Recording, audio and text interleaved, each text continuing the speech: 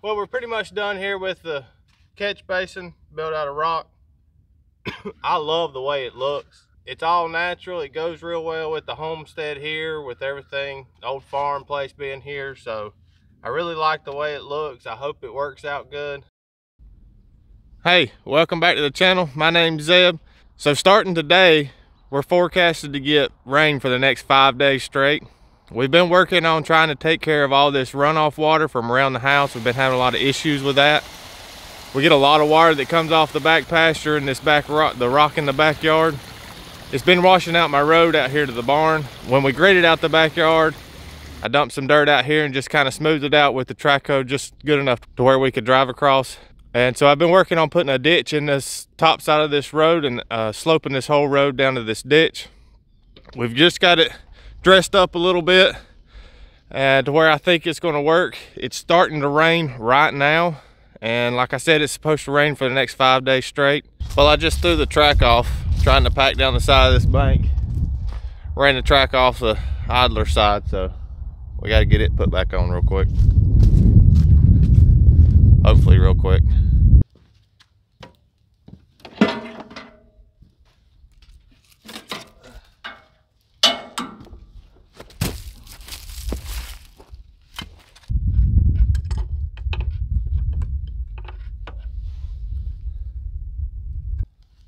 There's a little piston right here, this grease filled. This grease is real cold today, so it's taking a long time to come out. When it's hot, it usually just comes out pretty quick.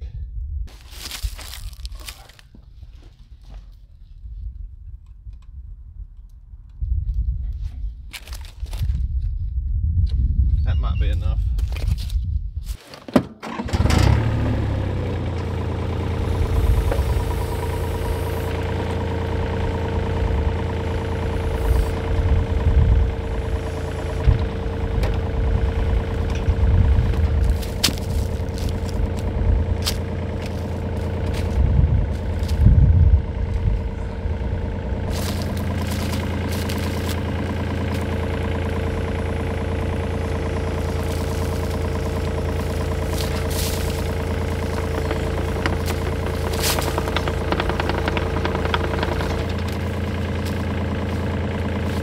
Not as easy as that.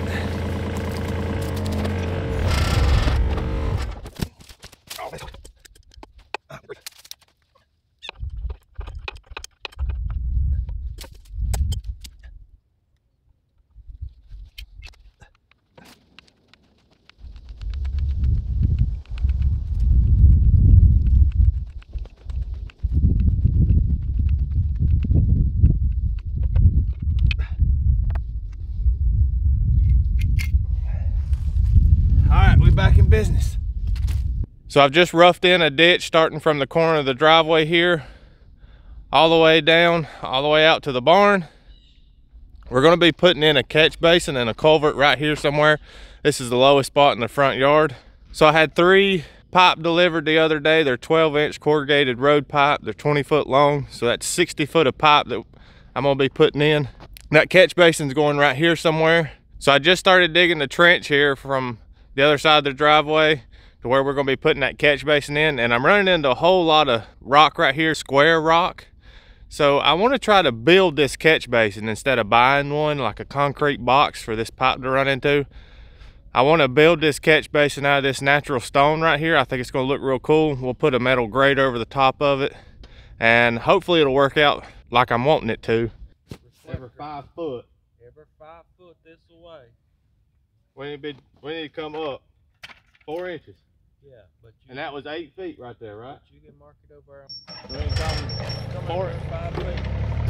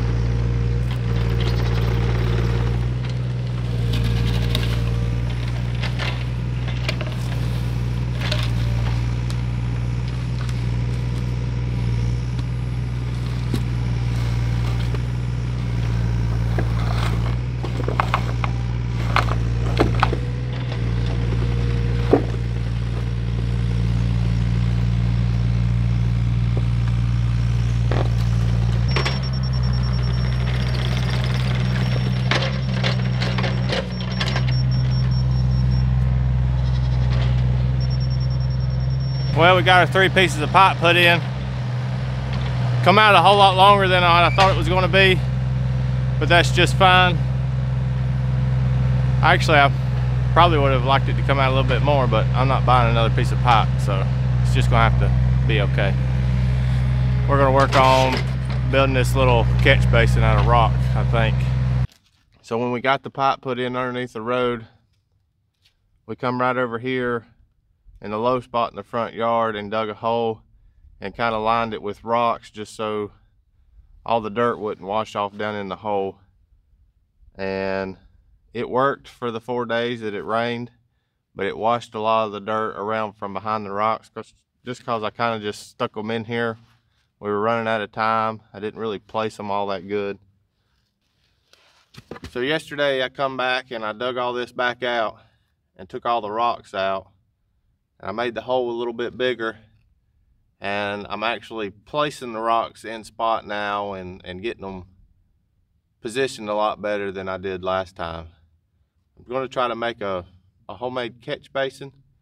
I've got a grate sitting right over here that I pulled out from beside the house. I'm going to try to use it. I priced a concrete catch basin and it was right at a thousand dollars for the concrete catch basin and a grate lid. So I'm gonna try to do this for free. Might take a lot longer, but I think it's gonna look pretty cool if it works. And it's gonna be a lot cheaper. The whole middle of this is that big base rock that we put in. It's a nice flat rock and we stuck it in there with the track hoe. But I've got the first row put down and packed in with dirt all around the rocks, kind of like using dirt as mortar. Um, it's nice wet clay, so I'm hoping it'll hold together. And then we're just working on the second row here. And I've probably got two to three more rows to come up. This side over here worked really well. The water rushed right over top of our top rock and flowed down in. This rock was setting a little too high, so the water actually rose around this rock and it washed the banks off. Mainly, mainly this side right here, it washed a lot of this out. So I've got to drop this one down a little bit.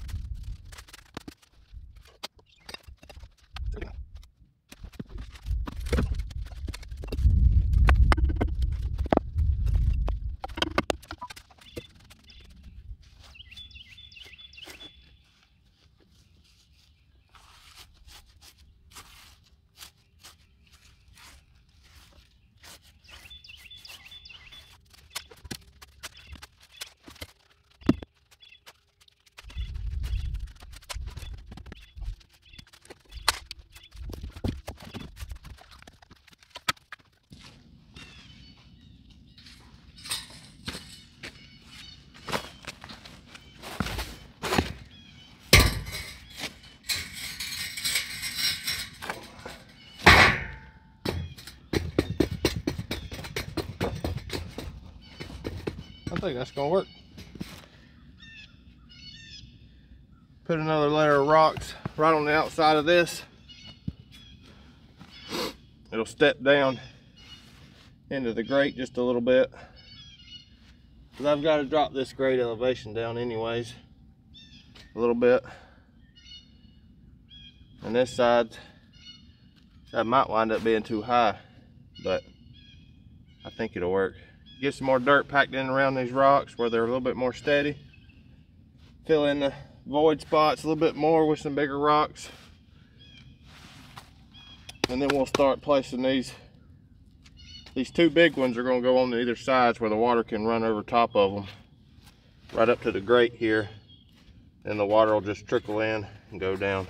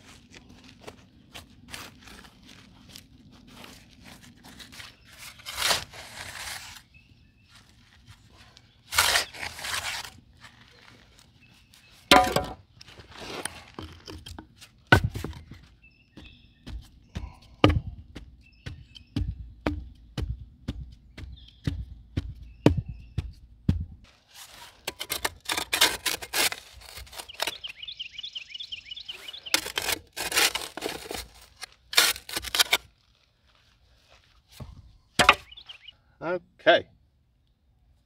Now, we'll put the grade in here.